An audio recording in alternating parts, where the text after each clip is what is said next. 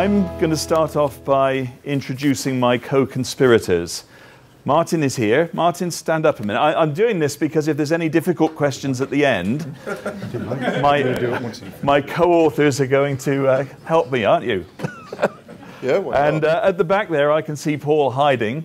Paul Carr. Um, what, what, what happened here was that uh, quite coincidentally, Paul and I in Australia and Martin where were you doing your work? In Prague? Prague, yeah, most. And uh, Martin in Prague, we're working on essentially the same thing. It's, uh, it really is very much a team effort. So, um, anyway, as I say, if the, if the questions get difficult, Paul and Martin will step in. Thanks, guys. Um, bit of a funny title, really, isn't it? Debunking uh, cuproadamite.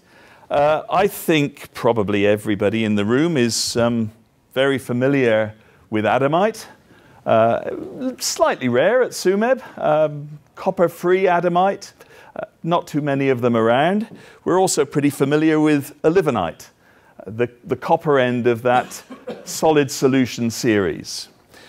The difficulty comes with naming the intermediate members.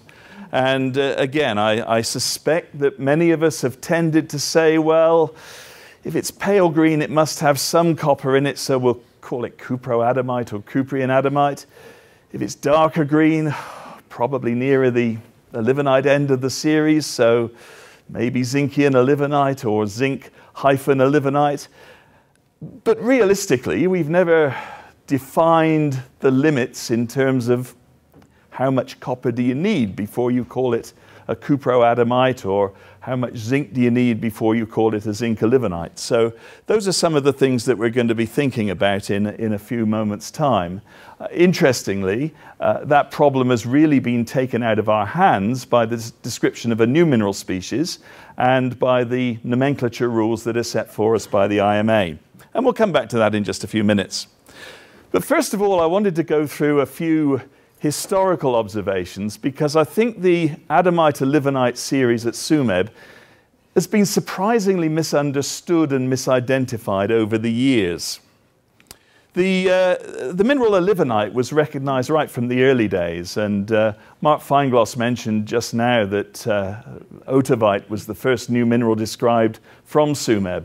And in the description paper by Schneider in 1906, he talked about massive olivenite and columnar crystals of olivenite. So olivenite really was recognized very, very early on.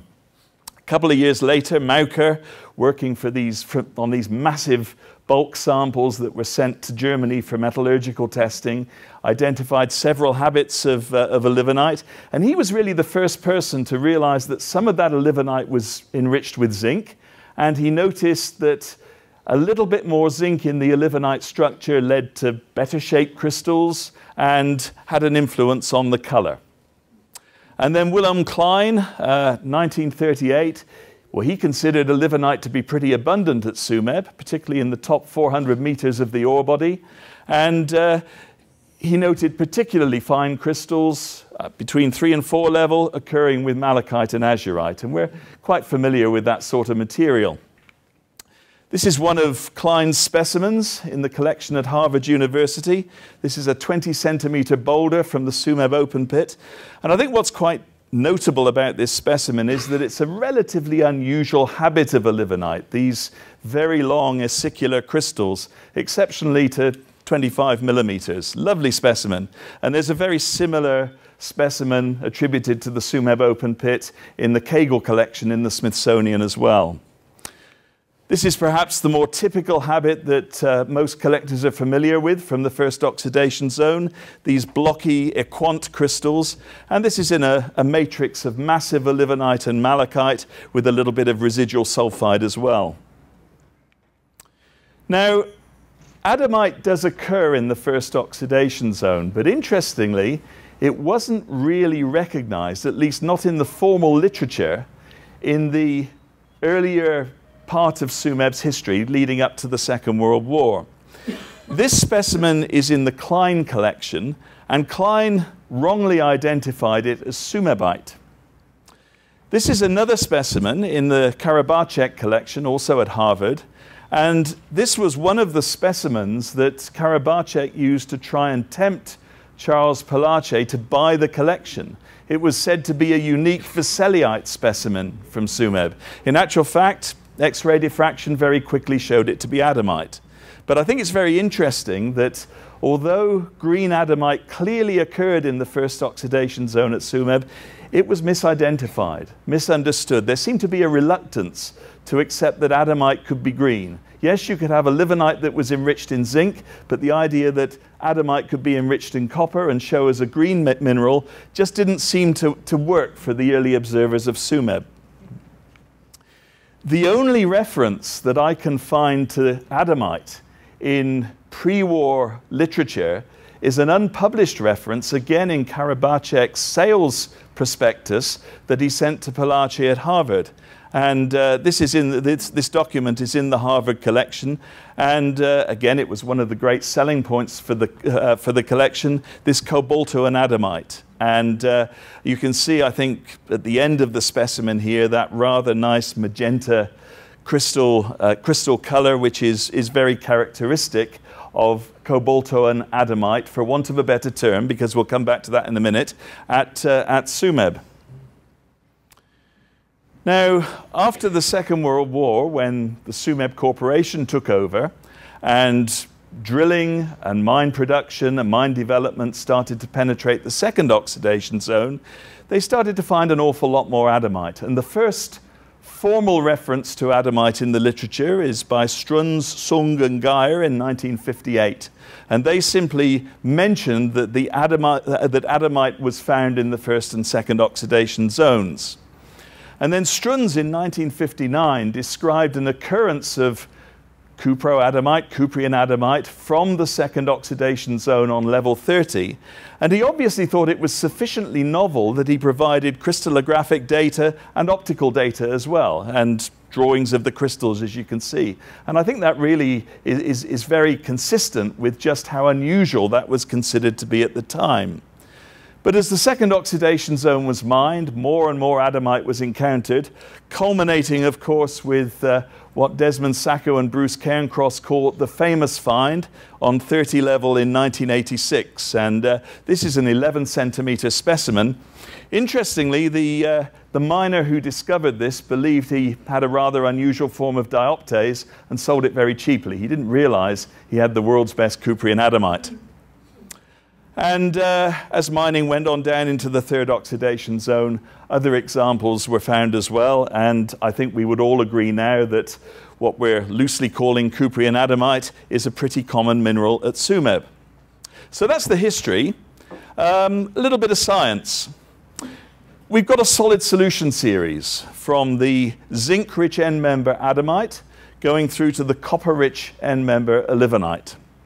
Now, studies of synthetic material have shown that in theory there is complete compositional solid solution between the excuse me between the two.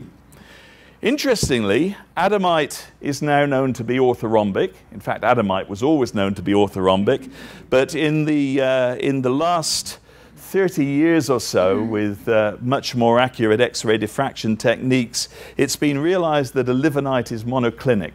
Now, the angle that makes it monoclinic as opposed to orthorhombic is a very, very tiny deviation from 90 degrees, which is why it took so long to realize that there was a symmetry change. And in synthetic materials, that symmetry change occurs at roughly 80 mole percent copper. Well, I'll come back to that in a minute. Don't, uh, don't worry about that too much at the moment. But it is just important to recognize that there is a, a, a structural difference between those two end members. Now, in 2005, and don't worry about the 2007 reference there, the, uh, the IMA approved a new mineral in 2005. The paper was only published in 2007. But uh, a group of Russian scientists, and I'm not going to attempt to pronounce their names, defined a new species within that solid solution and they called it zinc-olivenite. No hyphen, so a little bit different to the, uh, the varietal name that I showed on the screen a bit earlier. And they defined zinc-olivenite as the cation-ordered analog of olivenite and adamite. What on earth does that mean? We'll come back to that in just a second, but before I do, I want to just say that at the same time, the IMA officially discredited the name cuproadamite. Now, let's think about what this, uh, this strange definition really means.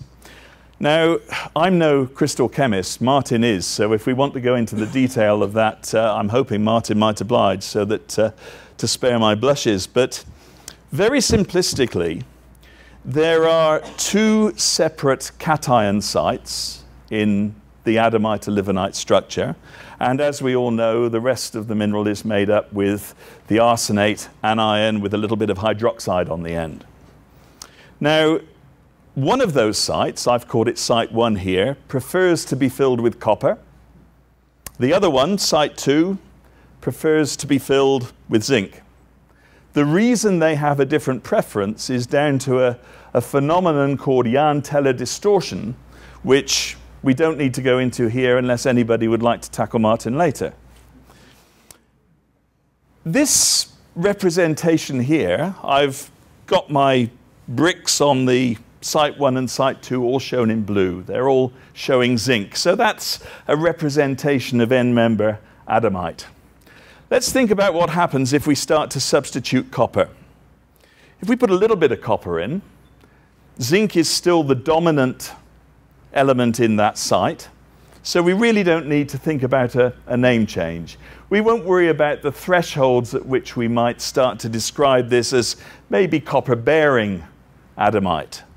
If we add a little bit more, we're still zinc dominant. Maybe we call this copper rich. But we don't need to worry about that too much. If we add a little bit more, though, we now have copper dominant in that first site. And the IMA's dominant cation rule means that we have to call this a new species because one ordered site is now dominated by a different cation. And as we cross from 25% zinc, uh, sorry, 25% copper to a higher level of copper, or if you like, in just the one site, we go above 50%, we come into the compositional range of zincolivenite, which is the new mineral. We add a little bit more copper, we fill up that site one completely with copper, and we're now at the ideal composition of zincolivenite, right in the middle of the solid solution series, 50 mole percent copper, 50 mole percent zinc. Then we start substituting copper into the other site, And we can put two of our five bricks in as copper. We're still dominant zinc in the other site, so we are still in the field of zincolivenite. But as soon as we move to dominant copper in that second site, we're now out of that compositional range of zincolivenite. And we're talking perhaps about an olivenite, but I'll come back to a little bit of a complication there in just a moment. And of course, if we fill up with copper completely, we're now into end-member olivenite composition. So this is how the series looks now. Uh, I've put mole percent copper along the top of the graph there, mole percent zinc along the bottom, and you'll see there that as we go above 25 mole percent copper, we pass from adamite into zincolivenite, and as we go above 75%, something changes again. Now I say something changes again because olivenite is monoclinic, but this series only becomes monoclinic at 80% copper. So we've got a bit of a question mark as to what we would call a natural composition between 75 and 80 mole percent copper. And to my knowledge at the moment, no consistent natural compositions in that range have been found. We can do it synthetically, but nothing in that range has been found. Now, I was talking to Stuart Mills uh, the uh, at um, Museum Victoria in Australia about this, and he was saying, well, you, you know, if you can bring to me a, a, a mineral that is monoclinic and consistently has something between 75 and 80 uh, mole percent copper, you've probably got a new mineral. So again, just a little bit of a, a thought on how new, na naming new minerals might happen. The problem with this is that it gives us as collectors some identification headaches. Uh, we can determine olivenite from the adamite zinc olivenite series just. It's not easy, but we can do it by X-ray diffraction. But ideally, we need to have a fully quantitative analysis in order to be sure which of these species we're dealing with. Because imagine, for example, that we have a it's the right button here. Imagine, for example, that we have a, a composition right on this dividing line. If the average composition is 24.9 mole percent copper, it's adamite. If it's 25.1, it's zinc-olivenite. And it really is that fine an issue. So to be sure, you need to analyze these things. And of course, not all of us have the budget or the inclination to start commissioning extensive batches of, uh, of quantitative microprobe analyses. So what Martin was trying to do and what Paul and I were trying to do on the other side of the world was work out if there are any reliable physical properties, either habit or luster or color or association, that we could say, well, these properties suggest that there is a very high probability that this is zinc-olivenite or a very high probability that this is adamite. And that's really what the rest of this talk is all about. And as I go through the next few slides, I'm sort of thinking that many people in the audience here will say, oh, well, I've got one like that, and I recognize that habit. And I think you'll be quite intrigued as to how the analyses turn out for some of these specimens. So we took 43 specimens of uh, adamite olivenite series minerals between us. Uh, we deliberately selected for a range of colors and habits and associations, as I said. We did between three and eight analyses per specimen to give us a, a total of 182 analyses. Obviously, we're interested in analyzing for copper and zinc because it's the copper zinc ratio that uh, determines which species we're dealing with. But we also analysed for iron and cobalt because it's clear from the literature that we do get a little bit of substitution of those two elements into the cation sites as well. And of course, we analysed for arsenic because these are, these are arsenates, and also on the possibility that there was a little bit of phosphate substitution. Unlikely at Tsumeb because there's not a lot of phosphorus around, but uh, we analysed for, for phosphorus as well. And that, as you can imagine, gave us an awful lot of numerical data, which I'm certainly not going to bore you with here. But here's Paul. You'll recognize the distinctive hairstyle sitting at the, uh, sitting at the microprobe in Canberra. And uh, this was when we went to do this work. And um, this is one of the representations of the data that we produced. So what we've done here is to calculate the number of atoms of zinc and the number of atoms of copper per formula unit. And you'll remember that there are two cation sites. The, uh, if we call a cation M for now, the formula is M2. So zinc and copper should add up to two atoms per formula unit. The reason that the data doesn't quite plot on a straight line is that little bit of substitution of cobalt and iron into the, uh, into the cation sites. But essentially there you've got three groups of data. And uh, there's nothing particularly clever about this. It, it's, uh, it's just a fact that anything that will plot between 25 and 75%. Now, it's important to make the point that is 50% of this solid solution series. All of that is zinc-olivenite. Zinc-olivenite is much more common at Tsumeb than either olivenite or adamite. The yellow, the, the yellow spots at the top there, below 25 mole percent copper, those are the adamites. And the, uh, the greens are the, uh, the, the, darker greens squares are, are, are, the olivenite, obviously. But what I want to just uh, point out to you, and I will do this by means of the next slide, this is the distribution of the average compositions of the 43 specimens. If we look at uh, these, ooh, wrong button, I think.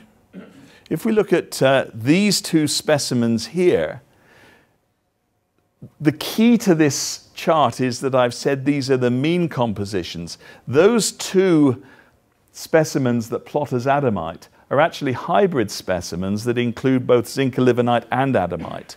In actual fact, the adamite parts of those specimens plot down in this range here. So we really have a trimodal distribution of data here. The end-member adamites are well towards the end member. The zinc-olivenites tend to cluster towards the middle of the zinc-olivenite compositional range, and the olivenites tend to be pretty much towards the end member end of the uh, olivenite range as well. Not quite so clearly as the, uh, as the adamites, but again, you can see it, they do form a separate group. And this gap here is the gap I was talking about earlier, where we're not seeing natural compositions. That's where this symmetry change is a bit of an issue as to how we would name things. Unfortunately, we can dodge the issue for now because we're not finding any compositions in that particular range. So let's have a look at a few, uh, a few specimens, and we'll start off with a, a, nice yellow adamite. Now, I don't think any of us would have remotely thought that that was a cuproadamite or a Cuprian adamite, and sure enough, the copper over copper plus zinc percentage is just 0.003%. There's no copper in this. This is essentially end-member adamite. The next one, these are rather nice large crystals of adamite, crystals to about uh, 15 millimeters. And uh, there's a green cast to this, certainly, but it is a little bit different. And I think the, the green cast is partly due to the size of the crystals. In actual fact, they're very transparent. And here, that, uh, that copper over copper plus zinc number is just 0.6%. Again, we're clearly dealing with an adamite. Here are some colorless to brown crystals. And uh, to give you a, a, better idea of what these look like, you know, superficially, they're the sort of tone of a nice, gemmy, smoky quartz. And again, the, uh, that copper number is coming out at just 0.79%. Again, very clearly an adamite. Here we have yellow tabular crystals arranged in little subspherical aggregates. The copper number here, 1.77%. Again, very much an end member adamite. And here we jump across that gap because in this specimen, we've got Equant spearmint green crystals. There are also some darker olive green ones here, but we're analyzing, in this case, the spearmint green crystals. And that copper number has suddenly become 31.54%. It's above the 25% threshold. This is a zinc. And here's another zinc olivenite, this time emerald green crystals. We've moved that copper ratio up again to 37.61%. It's a zinc olivenite. Spearmint green crystals again, Equant crystals this time, not, uh, not particularly exciting looking specimen, but we're now up to 40% copper. Zinc olivenite again. And of course, now we're starting to approach the middle of the zinc olivenite compositional range. Here we get to 42.7% copper with the spearmint green crystals. Spearmint green crystals again, this time really chunky quant things, 43.6% copper. These are a little bit different because the, the color of these is, is odd. It's a sort of gray green and uh, framboidal masses of, uh, of equant crystals, 44.26% copper, zinc olivenite. And uh, a fairly familiar habit, prismatic crystals, spearmint green, 45.47% copper, zinc olivenite. This is a tennantite specimen coated in spearmint green crystals of zinc olivenite, 45.6% copper. Rather pretty emerald green crystals, pseudo-octahedral under the microscope, 45.6% copper. Nice prismatic gemmy emerald green crystals, almost perfect mid-range zinc olivenite, 51.25% copper. Radiating clusters of emerald green zinc olivenite crystals, 55% copper. This is uh, a specimen from, a very poor specimen I might add, but uh, from that famous find. I showed you the Desmond Sacco specimen earlier, which is uh, somewhat better than this. But um, these radiating sprays of slightly darker green. I've called them bottle green crystals. Now we're up to 64% copper. And here we're getting into something that we might think very seriously as to whether we should be calling this Cuprian adamite. It's too dark, isn't it? We'd probably have called this a, olivenite anyway. And sure enough, we've jumped that gap. We've jumped into the monoclinic symmetry. This is 80.3% copper. This is olivenite. Again, bladed crystals, black, blackish green, 92.9%. We're getting towards end member olivenite now. And here we're right up to 96.8% copper. This is a very typical habit, these blackish green equant crystals, close to end member olivenite. And here again, I think this is, uh, I think this is the, uh, the closest we get to end member composition for, for uh, olivenite at 98%. But things are not always quite so simple. We do have a number of specimens, I think all of us have a number of specimens, where you have either zoned crystals or you have two different appearing crystals of the same adamite to olivenite series. And on this specimen, for example, bottom left, you've got the spearmint green crusts, which are zinc-olivenite. Top right, you've got brownish pseudo-octahedral crystals that are quite close to end-member adamite. And this remarkable specimen, which is from uh, John Schneider's collection, the crystals range from end-member adamite at the base of the crystal. You'll see the copper number there, just 1.7%. But by the time we get out to the terminations, we're 38.5% copper. So we grade in the one crystal from adamite near the base to zinc-olivenite near the tip. And then we have the other form of zoning, a concentric zoning. These pseudo-octahedral crystals have paler adamite cores surrounded by darker emerald green sheaths of zinc-olivenite. This is another one where uh, the cores of the crystal are adamite at uh, 16%, uh, not quite at the end member uh, part of the, uh, the adamite range, but 16% copper, grading out to, to 38% copper in the sheaths.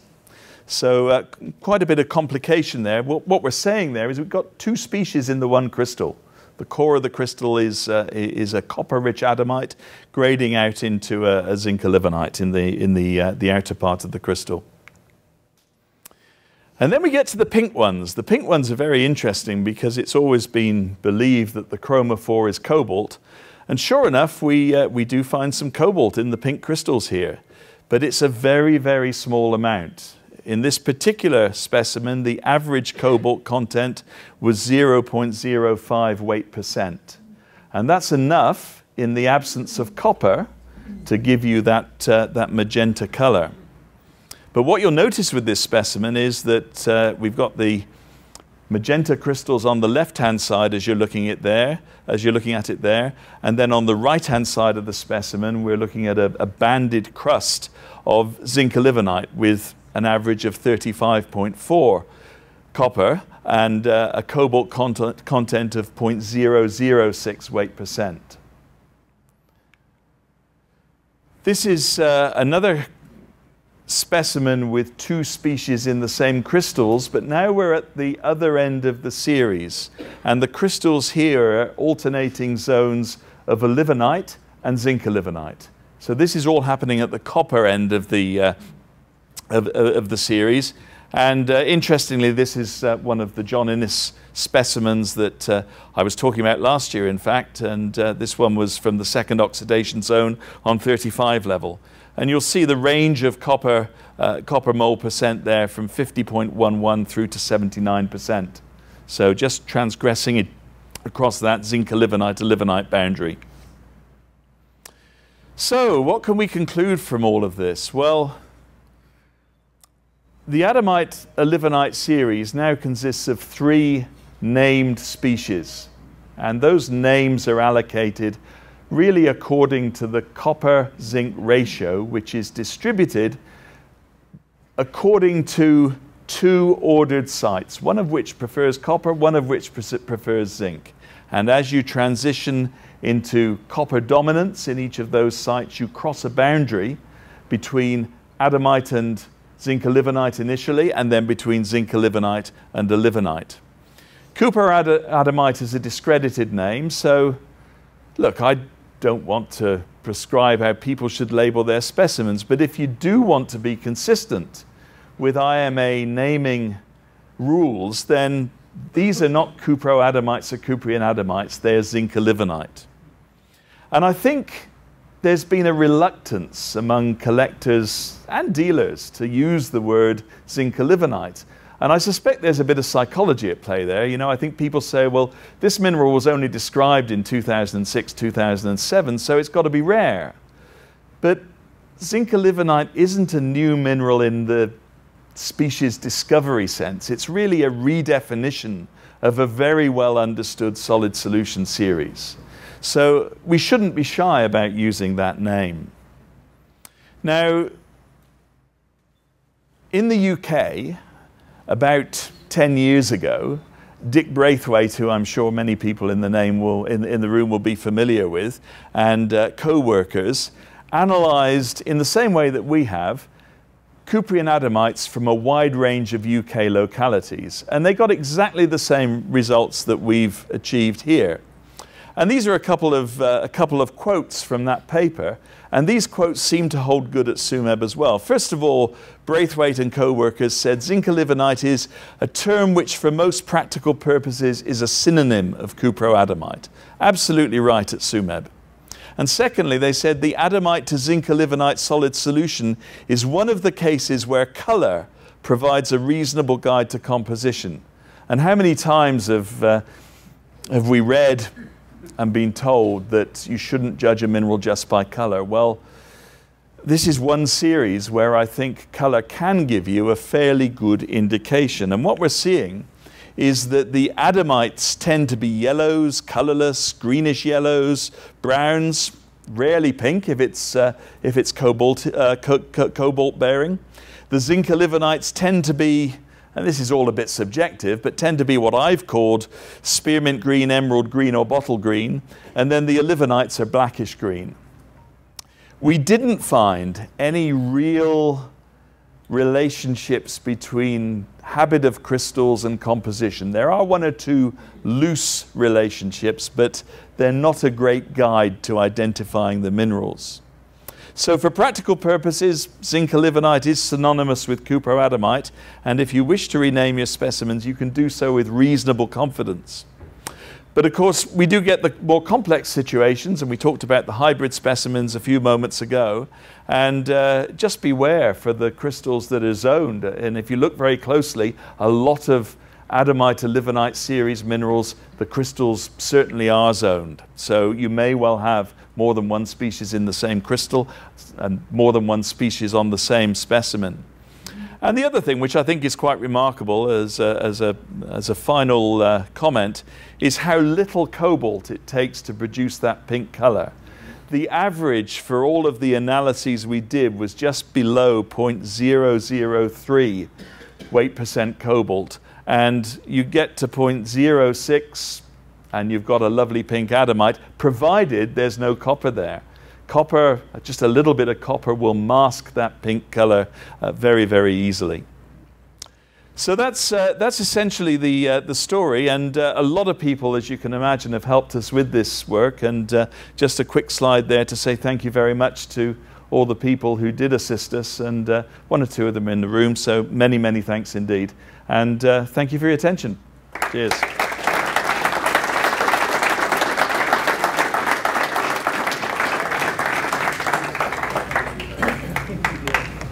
Now, I have a question.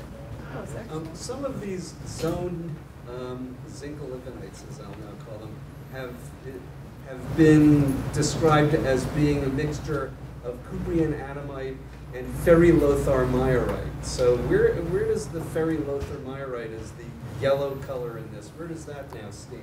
Is that discredited or are there some uh, specimens that have ferrilotharmeyerite that are causing the yellow color? Neil, certainly not discredited. It's another layer of complication, but uh, you know, I have, uh, I have specimens where the core of the crystals is ferrilothar. In fact, the, uh, the one that we started the presentation with on the title page is one of those. I also have crystals where the core is tudobeite. So there is another layer of complication which we haven't dealt with in this particular piece of work. But no, I think that's absolutely still valid. Jeff. Um, any research on associations within the series, like schultenite uh, appears with zinc-olivenite, but doesn't Yes, absolutely. I, I think, um, you know, we've always said as Tsumeb collectors that if you have a, a, new cuproadamite in your collection, you take it home and you put it under the microscope because a lot of Tsumeb's rarer minerals are associated with cuproadamite. Well, now, of course, we have to change the name, but uh, one thing I would say is I don't think you have anything like the same number of rarities associated with either end member, with the livenite or with adamite, but you do have a plethora of rarities that associate with, with got me at it now, with zinc-olivenite. Sir? Yeah, I was troubled with one aspect of this. Yeah. The zinc olivenite was originally defined based on the concept of ordering, or 100% ordering, partitioning between the site one and the site two. But your talk then sort of devolves into a strictly chemical thing. But is there a prospect or a possibility of there being disordering in the substitution for copper, copper for zinc in the two sites? If there were disordering, you could have like 45% copper adamite, you would be properly a Cuprian adamite according to the way they define those things. You could. In the, uh, in the original paper, the Chukhanov paper of 2007, they discuss the evidence for those sites being ordered. Okay. Now, this is where things get a little bit above my pay grade, and if you want to go into that any further, I might call on Martin here. But uh, I, I, I, hear your question, but I don't believe that it's something we should worry about because it is addressed in that paper, and the claim is that our current understanding is that those are ordered sites. And again, I think it comes down to this Jahn-Teller distortion, which means that one site is more likely to accept the, uh, the copper rather than zinc. But now you'll get the real answer. Yeah, exactly. Actually, you know, the, the ordering in the sites is very nice. Why? Because it's a special Jahn-Teller theory in the quantum physics, you know. And I'm not going to tell you a lot about that because it's quite complicated thing, but it's easy explanation. So both sides are octahedral. So, but because of the Jahn-Teller effect, copper has a special properties. Always it has to be occupied in one of the sides because it requires a distortion of the octahedra. So zinc is okay. It's, the zinc is fine in, in both sides. But because the copper requires that distortion of the octahedra, it always occupies just one side and it's fully ordered. So it's, a, you know, the crystal structure of the olivenite, it's pretty similar to Andalusite. It's really easy, you know, understand structure, but always because of the distortion, which is driven by the uh, quantum physics at the end, always copper can occur just in one octahedral side. So there is nothing like a splitting of the coppers because since the copper has to occupy the one octahedral side, which is distorted all the time, zinc went to the another one and fully occupying that one. So it's really fully ordered structure. Has, has anybody thought about the possibility in some localities for adamite or olivenite, the presence of trace elements in cation sites might distort that framework? We are working with, Some well. I'm actually working now on that as well. Yeah. And uh, doing uh, a synthetics as well, you know, so and stability More things. Yeah, will be more.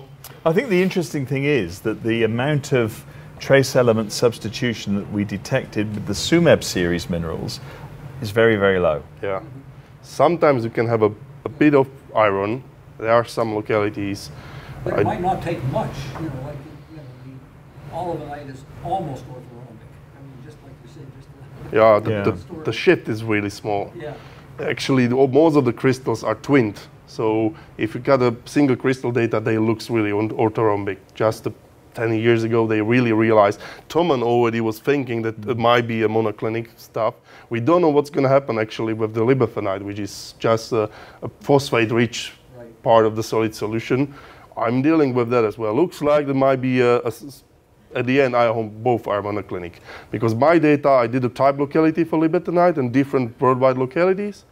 And actually, I can see the full, full solid solution. And if the one is orthorhombic and another one is monoclinic, it's not going to happen. Both are monoclinic, just we have to refine the crystal structure once again. Thank you. Sir, Yes.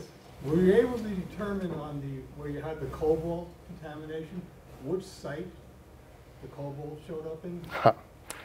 uh, I wouldn't call it contamination. Not contamination. Substitute. Yeah.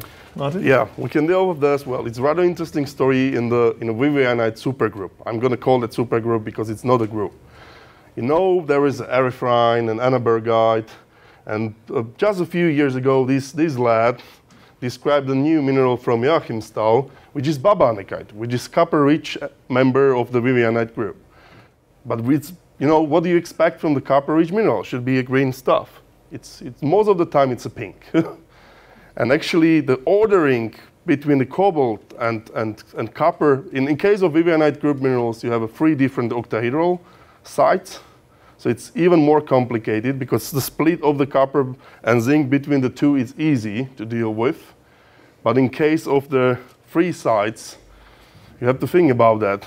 It's a big chance actually for, for the vivianite group that might be, a, a, if the, we will be able to find ordering, which we failed really, the problem is the, the, the atomic ratio and the it's so so small between the copper and cobalt, you know, and the properties are so close that it's not easy. Maybe, maybe should be a, some sort of the ordering, but we never find a, a really a super rich member with the cobalt. It's always a little bit. That's a nice story behind the most of the erythrites. I analyze a lot of erythrites from across the world, and they turn to be annabergites.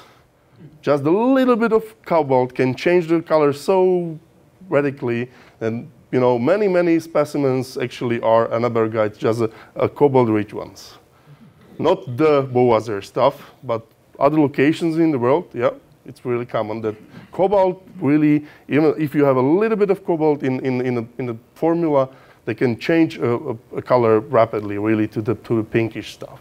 So, but most of the things like adamites, this was the highest number which I ever saw. It, it's not really common, you know, that you have a a purple ones, except of the Mexican ones, where manganese is actually doing a lot of lot of color instead of the of the cobalt. So, right. I think because of our capabilities of analysis, as you've shown here, you can differentiate these things up to the eye under the microscope. Sometimes generationally, the new mineral is totally coated the old minerals that are inside. And I think I want to be blissfully ignorant because I don't want to necessarily tear apart my crystal to find out what's inside. So and I think it's just an, an exclusive with this mineral group. I think it happens in a lot of minerals where you you have now we can determine there are multiple minerals in a single crystal, but that's after you destroy the part of the crystal and find it. Sure. My question here was, did you were you able to see superficially the strata of differentiation, uh, or did it all look the same on the surface, and you had to cut away a little bit to find out where the, where the different layer, layers of the mineral was when you had more than one mineral in the crystal. Yeah, look, absolutely. And I, I think we chose the, the, the, the, specimens that we photographed and analyzed there specifically because you could see the zoning. Oh. And uh, look, just to comment on that, I, I, um, I think most honest collectors have come to learn that if you go to a mineral show and you buy yourself a, a tourmaline, you don't call it albite, you call it tourmaline group because without an analysis you can't possibly know. And I have no problem at all with labeling, labeling these things adamite or series. What's wrong with that? Nothing, but the splitters are seeming to rule in the IMA, so I'm just sort of seeing this as another example of that kind of thing. Sure. Yeah. Well, look, uh, the, the, the good news is that uh, I don't know, I, I, I shouldn't put a probability on it, but I think if you were to say selecting a species in the Adamite-Olivenite series on the basis of color, assuming the crystal isn't zoned, uh, you're a 95% chance of getting it right, I think. Mm -hmm. Thanks. Did any of the analysis uh, show up that uh, a mineral that was in that 5% zone? no. Yeah, well, one. it was one point, which came in at something like 79.98. So, but the interesting thing is that the, the point at which the symmetry change occurs is not that well defined anyway. So the gap seems to be pretty empty, but we don't actually know to that level where the symmetry change occurs. Other question, why did they uh, discredit uh, cuproadamite? Well, I think there are, there are two issues here. First of all, Cuproadamite was not at that time an approved species. There yep. was a paper released by uh, uh, a, a, a, gentleman by the name of Burke who listed 78, I think it was, 78 varietal names that the IMA wanted to discourage the use of. Cuproadamite was one of them. But the IMA takes the view that you shouldn't be randomly tagging chemical adjectives onto the front of mineral names. And when you think about it, if you and I were having a discussion about cuproadamite, what are we implying about the amount of copper? We're talking about cobalt adamite with 0.00 weight percent, cobalt. Does that deserve to be co called cobaltian adamite? No. You know, I, it drives, oh, those of you who look at the tsumeb.com website, you'll know I've got a bit of a bee in my bonnet. It drives me nuts. People talking about cobaltian smithsonite, manganoan smithsonite. You know, my eyes aren't spectroscopically sensitive enough to judge different shades of pink and, and, and say whether it's manganese or cobalt. You know, just call it pink smithsonite. Isaiah. Yes, I was wondering if you uh, have worked a lot on the Mexican adamites and whether you think that maybe Manganoan adamite could be a, a separate species also. No, I did the work on that. No, no, it's a little bit of manganese there. Do the same rules apply? No, it's not gonna fit. It's just 0.1 atoms per formula unit of manganese, and that's enough for the And color. What about the, uh, the uh, Cuprian adamites from there? Are they adamite or are they group That's a good question. Some of them are zinc-olivenites as well. Not all, but there are a few examples. I think I, I mentioned about the study done in the UK on the, uh, the Cuprian adamites there. Um, if you've been looking at the front page of Mindat over the last couple of weeks, you'll see that uh, Branko Rieck has done a study on the Laurion green adamites and uh, come to very similar conclusions. It's a lot of zinc-olivenite. Yeah, yeah. But that's a type locality area. Sure. So, yeah. Yeah, Shame it's not Tsumeb actually. yeah. Okay, well, uh, again, thank you.